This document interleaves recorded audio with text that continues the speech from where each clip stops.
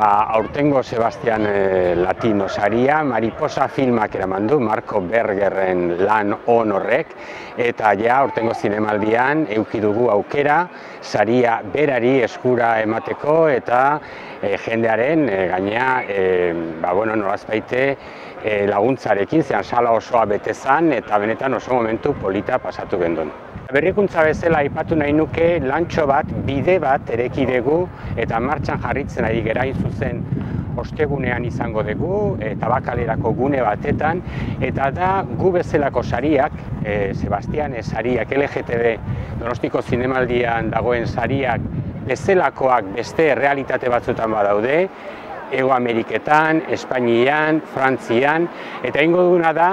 gu bezalako pertsonen eta taldeen bilkura bat, tabakalera nahi zuzen, bagu guztio dauzkagun amankomuneko arazoak, alde positiboak, alde negatiboak, bueno, lehenik eta behin juntatu,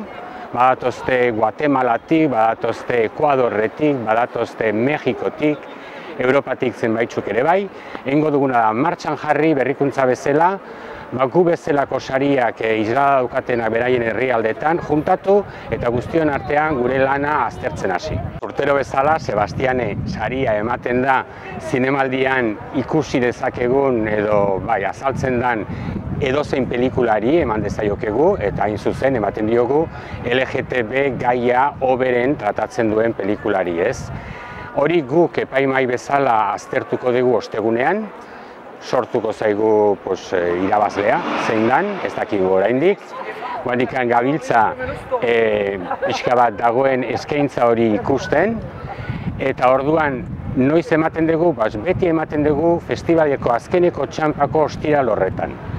Noain zuzen ere, aurten berriro ere izango da kur galerian, kursalen aurrean dagoen justu galeria horretan, arratsaldeko zazpiretan. Eta guztiok nahi duenak etorri daiteke oso zeremoni polita izaten da, motza, polita, eta beti dago gero tragoska bat edo pintxo batzu jateko aukera, normalean artistekin edo direktorearekin edo festivaleko e, personai batzuekin. Eta astu ez, ja, festa erraldoi bezala urtero ere geituk, ja ez Sebastian esaria, baina bai gu geituko kide geranez, geituko beste partaide batzuek, beste lan talde batek urtero bezala e, antolatzen dute gay, lesb, trans, bisexual festa erraldoiena izaten da, jareinoko kulturetxean larun batak gauean.